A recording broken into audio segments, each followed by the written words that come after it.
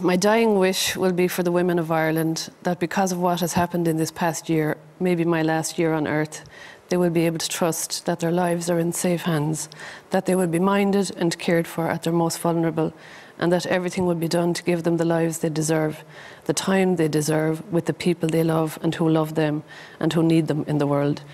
There will be others who will continue this fight without me when I'm gone, because we are all in this together at the end of the day.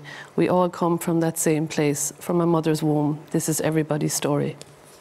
Your story is everybody's story.